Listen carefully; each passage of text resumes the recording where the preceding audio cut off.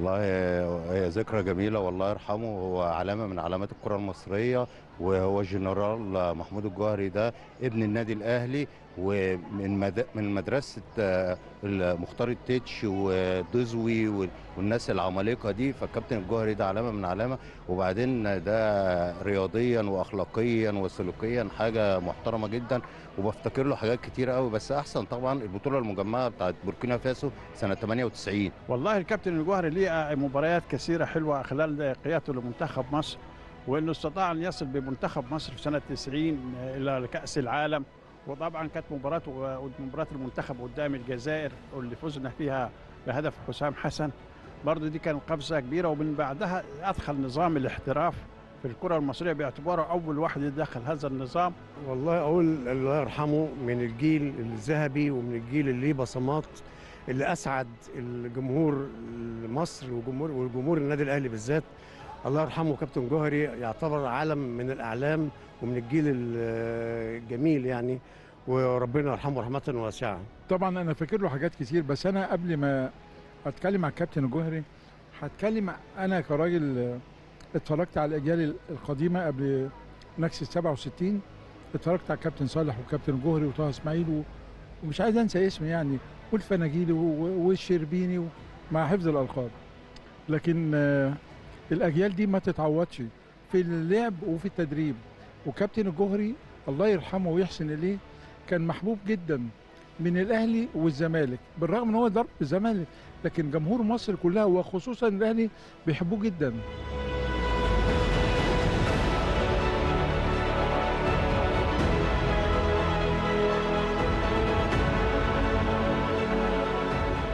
والله أدعو الله سبحانه وتعالى أن يتغمده في صحة الجنان والكابتن الجوهري يعني عمل آه، أشياء جميلة أوي لمصر. كان مدرب منتخب مصر في فترة التسعينات آه، وفزنا في أثناء هذه الفترة بكأس الأمم الأفريقية. وأذكر في الماتش ده تقريبا طاهر أبو زيد كان جاب جاب جون الفوز. ودي حاجة طبعا في تاريخ آه، كابتن جوهري. الله يرحمه طبعا الجوهري كان بيلعب أيام صالح سليم في الستينات. وبطولات كان 98 خد بطولة آه، مصر آه، بتاع أفريقيا بطولة أفريقيا 98 آه. كان راجل جميل الحقيقة هو كان بيلعب هو والشربيني محمود آه، الشربيني كان بيلعب. ويعني الناس دي بتاعت زمان فظيعة الله يرحمها. كابتن محمود الجوهري نقول له الله يرحمه طبعا عمل إنجاز كبير تاريخي لمصر وكان معاه الكابتن ربيع ياسين طبعا من النجومية الكبيرة قوي. وكان معاه يعني طفرة رياضية كبيرة أو طفرة آه، وعماد سليمان بتاع الإسماعيلي وكان بوبو يعني كان معاه ناس آه، كتير منتخب مصر لعيبة كويسة وفرقة كويسة وفرقة ادت تاريخ لمصر وادت للنادي الأهلي.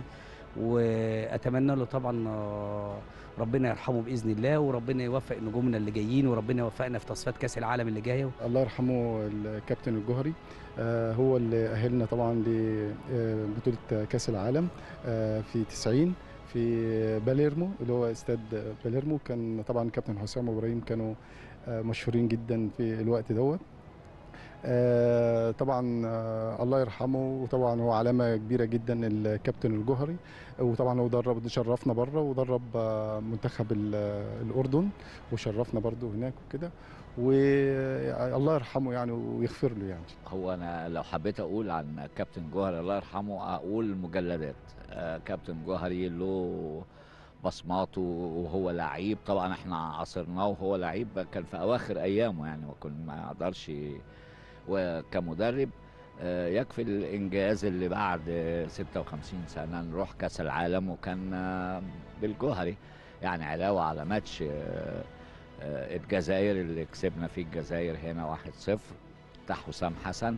لا ماتش هولندا أنا أعتبره من أروع الماتشات اللي اتلعبت في في في تاريخ المنتخب وكانت هولندا فرقة لها ثقل وتقيلة وكفايه الثل- الثلاثي المرعب بتاعها رود خوليت وفان باستن. يعني فالجوهري آه، كان عنده رؤية للملعب جميلة وبيقرأ الملعب كويس وبسرعة وبيقدر يتعامل معاه.